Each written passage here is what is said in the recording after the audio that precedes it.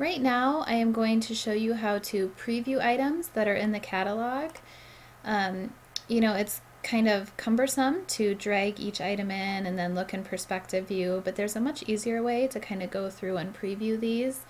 Uh, if you just click on it and then right click and go to view and place, a preview will pop up. So you can look at it change some of the information if you want and either place it or cancel if it's not what you're looking for and then you could try another one.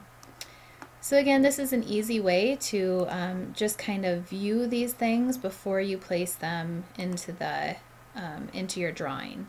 Now you can also do this with appliances. Um, you know, if you're looking at adding a hood above your range, you can do view it and look for, you know, find the hood that you're interested in.